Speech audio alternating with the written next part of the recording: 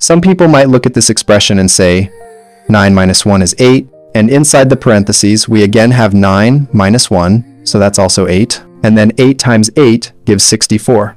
But that result is not correct. Why? Because we must follow the order of operations. PEMDAS tells us the correct sequence. Parentheses first.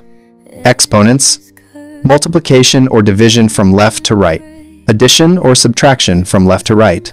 This expression includes one parenthesis, one multiplication, and one subtraction. Inside the parentheses, we have a subtraction.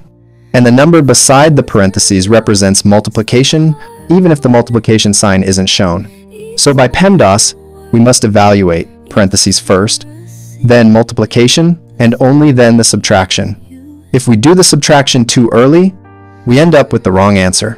Let's follow the correct order. Inside the parentheses, 9 minus 1 equals 8.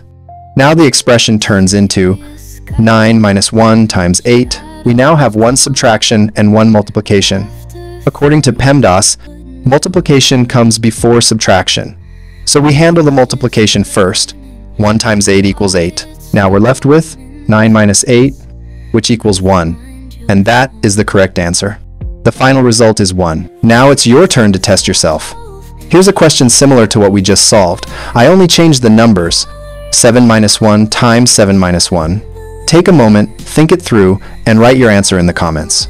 I'm curious to see who solves it correctly. And before you go, don't forget to subscribe, like, and share. It really helps support the channel. Thank you so much for watching, and keep learning.